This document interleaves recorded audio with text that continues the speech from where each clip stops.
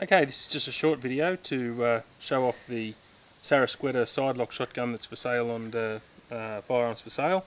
So it's an ejector, so as we open um, she ejects the spent shell.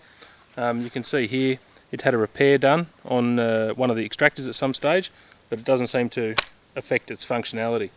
Um, it's a very pretty gun, uh, lots of engraving. I count uh, nine pins on the side lock and obviously you've got the twin trigger. Uh, chokes are um, fairly tight, so top is full and bottom seems to be about three quarter.